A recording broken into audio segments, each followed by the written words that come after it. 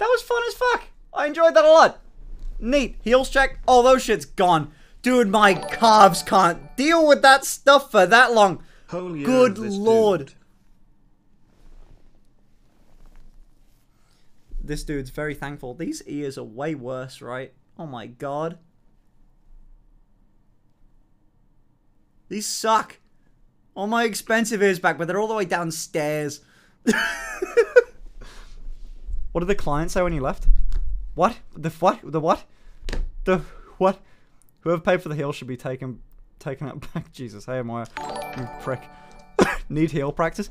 No, I can walk. Okay, you know what? Actually, I was gonna say I can walk great in heels, and then it was then.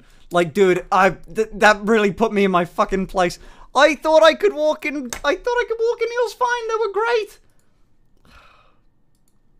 Good lord.